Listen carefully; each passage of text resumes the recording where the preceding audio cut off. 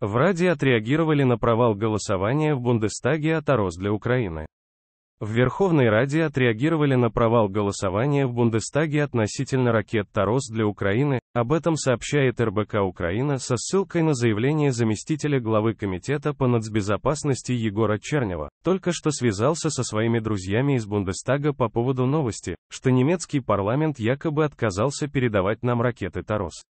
Все оказалось проще, сообщил Чернев. По его словам, сегодня немецкий парламент голосовал за отдельный законопроект части оппозиции, который она хотела без согласования с другими вынести на голосование. Законопроект, по его данным, был отклонен из-за нарушения процедуры и попытки использовать это для узкопартийного пиара. План внести на рассмотрение Бундестага совместный законопроект всех фракций остается в силе.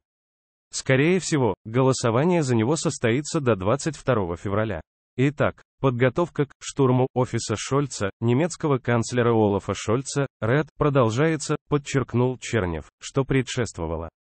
Напомним, еще вчера, 16 января, стало известно, что Христианско-демократический союз хочет вынести в Бундестаг вопрос передачи Тарос Украине. Как отмечал лидер фракции ХДС Фридрих Мерц, такие ракеты могут помочь Украине оттеснить российские войска. Срочные и важные сообщения о войне России против Украины читайте на канале РБК Украина в Телеграм.